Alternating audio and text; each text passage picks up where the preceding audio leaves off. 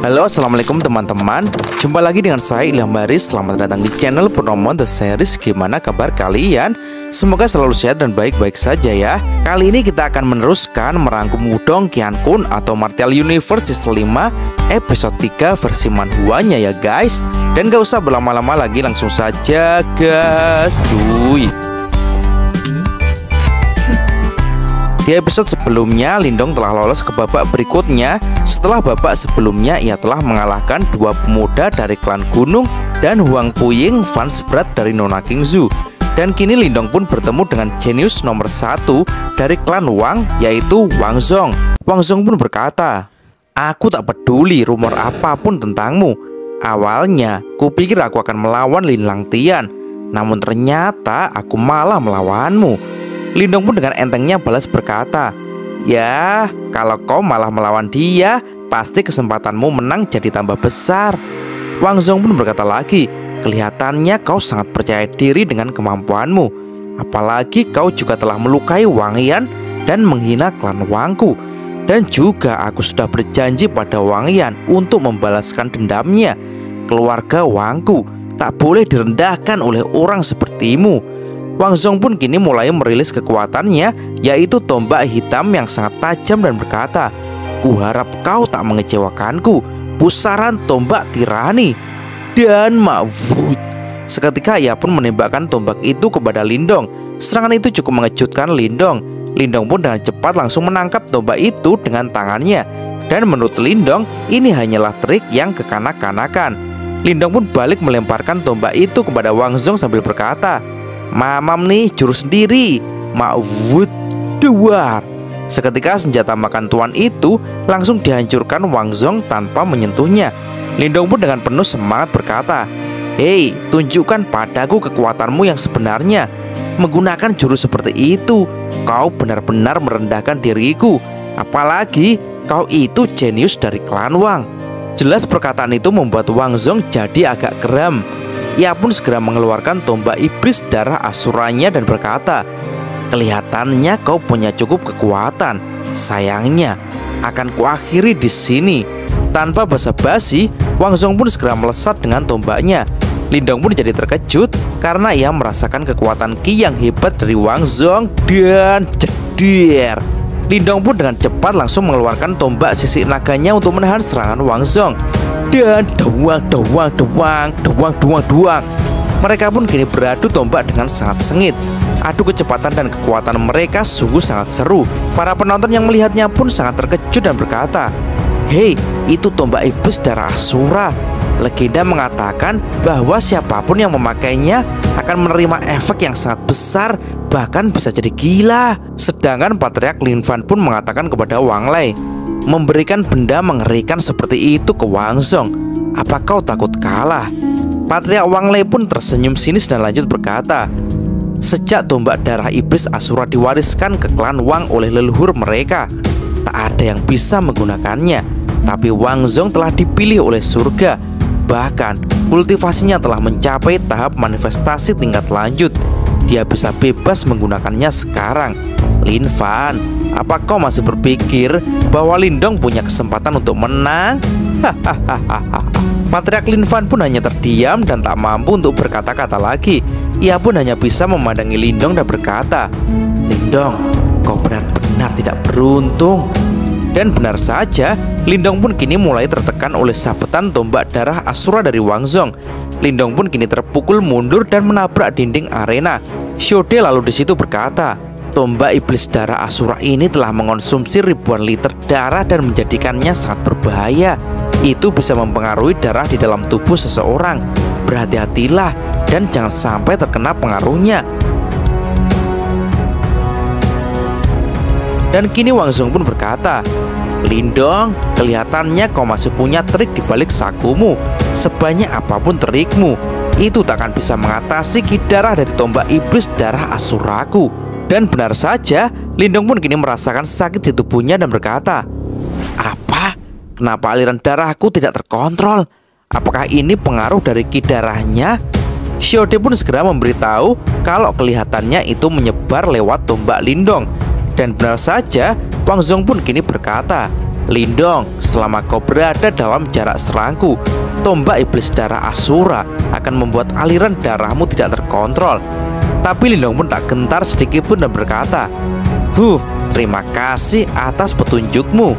Hanya saja, Lindong pun kini memegang tubuhnya dan lanjut berkata, Apanya yang darah itu tak mempan padaku bodoh karena simbol belahap kuno Lindong kini bisa langsung melahap darah beracun dari Wang Zong.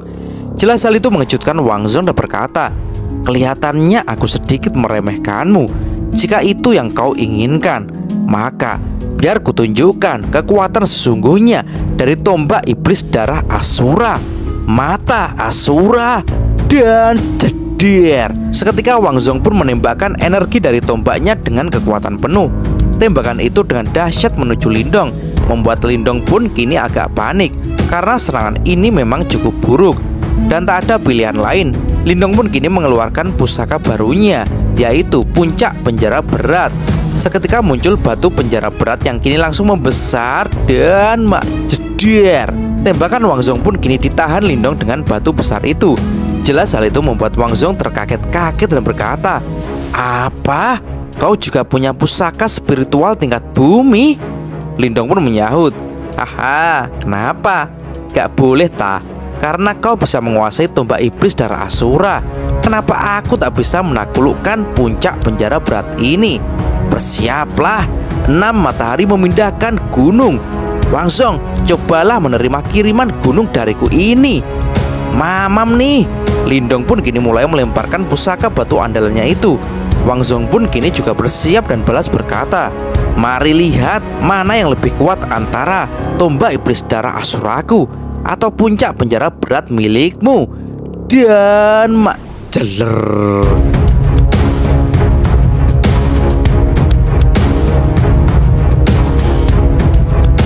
Kau pikir ini cukup untuk mengalahkanku, ah? Dan mak dawar. Wang Zong pun meledakkan kekuatan dari pusaka Lindong. Tapi bukannya pusaka lindung hancur.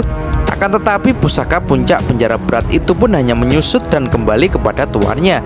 Dan dengan santainya Lindong berkata Wang Zong, bagaimana? Apa kau suka serangan puncak penjara beratku ah? Dan kini Wang Zong pun tiba-tiba mengeluarkan aura energi merah pekat seperti darah. Dan dengan mengernyitkan dahinya ia berkata Menarik, kau bisa memaksaku menggunakan mode ini Sekarang karena kau yang memintanya, maka jangan salahkan aku akan bertindak kejam. Mode haus darah Asura aktifkan. Seketika terlihat tubuh Wang Zong pun telah bertransformasi menjadi tubuh Asura. Wang Zong pun mengatakan kalau sekarang ia percaya bahwa Lindong sebanding dengan Lin Langtian. Tetapi walaupun Lindong bisa sebanding dengan Lin Langtian, ia menganggap Lindong tetap tak akan bisa mengalahkannya. Lindong pun dengan pedenya balas berkata, Apa kau bilang, Lin Tian? Kalau begitu, akan kukalahkan kau seperti aku mengalahkan Lin Tian. Jelas perkataan Lindong itu membuat Wang Zong marah dan segera melesat menyerang Lindong dan mak duar. Lindong pun segera menahannya dengan puncak penjara berat. Lindong pun semakin menambah tekanannya karena serangan Wang Zong kali ini juga sangat dahsyat. Aduh serangan ini benar-benar sangat dahsyat dan mak jeleng. Tak disangka, kini batu puncak penjara berat pun telah menggencat Tuan Zong. Lindong pun lanjut berteriak, Rasakan tekanan ini. Tapi tiba-tiba saja, batu itu bergerak, membuat Lindong pun jadi terkejut. Dan tak disangka, Wang Zong pun ternyata mampu mengangkat pusaka penjara berat itu. Dan dengan kesal, Wang Zong pun berkata, Lindong, akan kubuat kau menyesali hal ini. Lindong pun kini kaget dan berteriak, Eh, ternyata dia bisa menahan beratnya puncak penjara berat. Bocah Wang ini sangat kuat. Dan hiat, Wang Zong pun kini mulai akan melakukan serangan. Melihat hal itu, Lindong dengan pusaka puncak penjara berat pun segera merilis jurus lagi, yaitu tekanan gravitasi. Dan tiba-tiba saja, Wang Zong pun kini menjadi tak bisa bergerak dan jelas saja itu membuat Wang Zong panik dan marah. Beraninya kau menahan pergerakanku, Wang Zong pun seketika dikejutkan lagi dengan Lindong yang mulai mengeluarkan energi gunturnya. Sedangkan Lindong dengan tubuh guntur hasil besarnya dengan semangat berkata, Diam saja di sana dan jadilah samsak tinjuku. Dan dua dua dua dua dua Wang Zong pun hanya pasrah dan mencoba bertahan dipukuli oleh Lindong. Lindong pun dengan semangat berkata lagi, Kau cuma bisa ngomong doang, maju sini dan rasakan puncak penjara ini. Mak duar, duar, ceder, pam, pam. Lindong pun dengan semangatnya memukuli Wang Zong dan lanjut berkata lagi, Hahaha, aku juga bisa membuli yang lemah. Dan kini terlihat Wang Zong pun mulai babak belur. Ia pun semakin murka dan berkata, Lindong, kau benar-benar membuatku marah. Tapi Lindong pun kini malah lanjut melakukan serangan, yaitu tembakan perpisahan laut. Dan tiba-tiba saja Wang Song pun berteriak, Lindong, bersiap laut. Kiamat, iblis darah.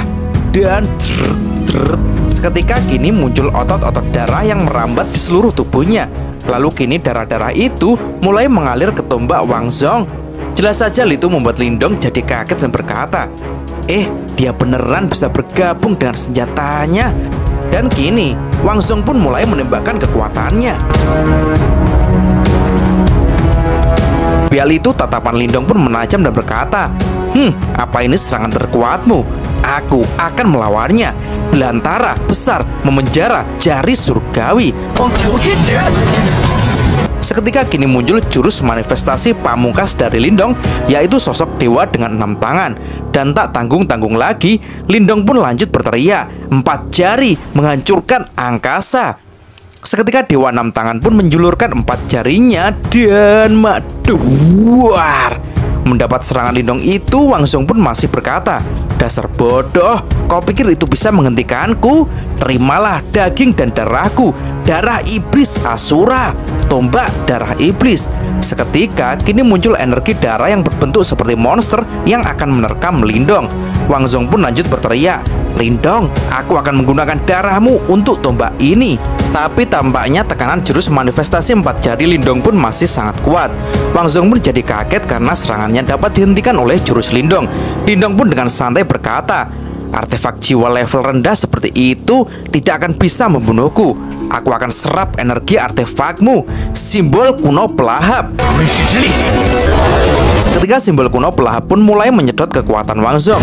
Jelas hal itu mengagetkan Wang Zong dan berkata, tidak mungkin dia menyerap energi tombak darahku. Dan setelah kekuatan Wang Zong tersedot, Lindong pun kini segera menghantamkan jurus bela diri manifestasi pamungkasnya lagi, yaitu satu jari penghancur dewa dan dua jari penghancur dewa dan tiga jari penghancur dewa. Seketika sosok dewa tangan enam pun menjulurkan jari-jarinya dari beberapa tangannya untuk menyerang Wang Zong. Wang Zong pun kini langsung berteriak, Kenapa bocah sepertimu lebih kuat dariku? Lindong, aku akan membunuhmu dan mabeleng.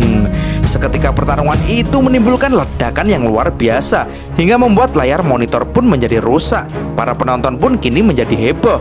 Mereka pun jadi penasaran siapa yang menjadi pemenangnya. Akan tetapi Patriak Lin Fan pun di situ berkata, Orang-orang tidak melihatnya, tapi aku melihatnya dengan jelas.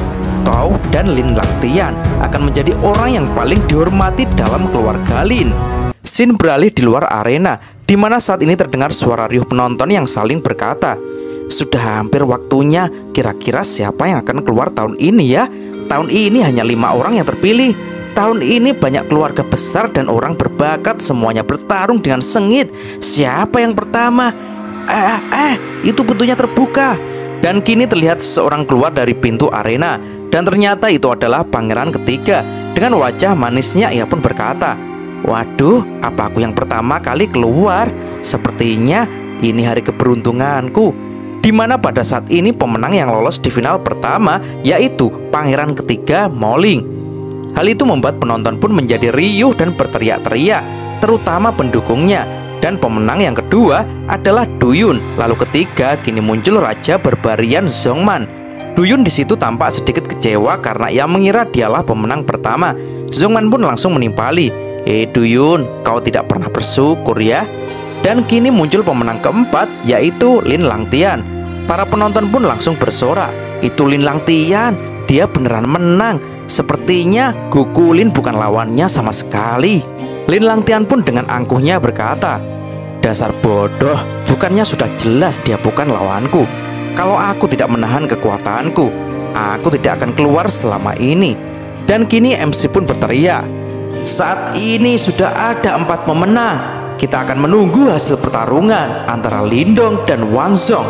Terlihat Wang Lei pun dengan sombongnya berkata kepada patriark Lin Fan, Hah, bukannya ini buang-buang waktu ya? Wang Zong adalah anak muda terkuat di dinasti kita.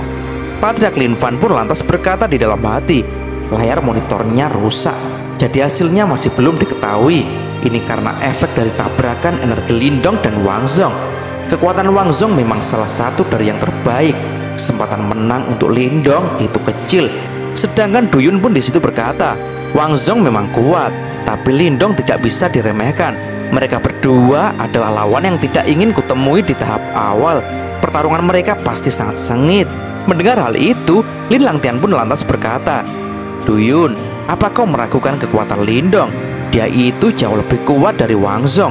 Zongman pun menyahut, Bukannya kau dan Lindong itu satu keluarga? Lin Langtian, tentu saja kau akan bilang begitu.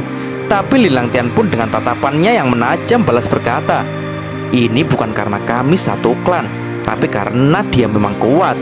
Apa tidak ada yang menyangka kalau kekuatan Lindong lebih besar daripada Wang Zong? Pangeran Moling pun lalu menyahut, Yap, walaupun Wang Zong sangat kuat, tapi aku rasa Lindong akan jadi pemenang terakhir. Lalu dua orang dari klanmu akan bertarung di perang 100 dinasti. Ini peristiwa langka dalam sejarah dinasti. Lin Langtian pun tampak tertawa sinis dan berkata, Haha, kalau begitu Lindong harus berterima kasih pada pangeran atas pujiannya. Patriark Wang Lei pun kini lanjut berkata lagi, Lindong memang lumayan kuat. Ini mengagumkan. Dia dan Wang Zong masih bertarung sampai sekarang. Sepertinya kita harus tunggu sampai perang 100 dinasti untuk menentukan siapa pemenangnya.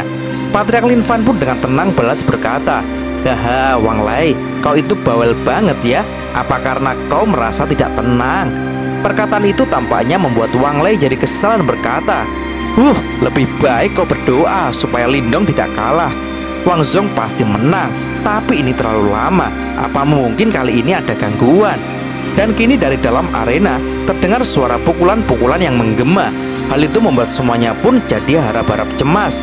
Dan di antara penonton pun berkata, Pintu terakhir ada suara dan mak dehuar. Tiba-tiba saja dari pintu arena muncul ledakan dan keluar seseorang yang ternyata itu adalah Wang Zong di mana terlihat saat ini Wang Zong terlempar cukup keras hingga ia pun tampak sekuat tenaga berusaha menghentikan tubuhnya. Jelas hal itu membuat semuanya terkejut karena saat ini terlihat Wang Zong lah yang keluar. Wang Lei pun seketika langsung berteriak, "Wow, hahaha, kau memang anakku." Akan tetapi terlihat Pangeran Moling di situ ekspresinya cuma B aja.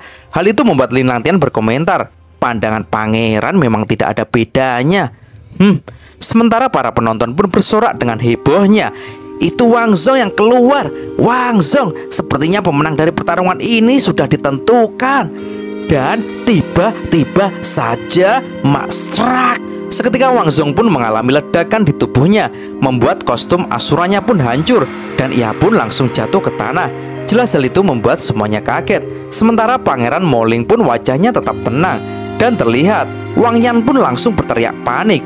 Dan tiba-tiba saja dari dalam pintu arena terdengar orang yang berkata Cara menentukan hasil pertarungannya bukan dari orang yang pertama keluar kan dan ternyata itu adalah Lindong yang dengan santainya berjalan keluar dan lanjut berkata, Bukannya itu terlalu bodoh, jelas hal itu menghebohkan semuanya.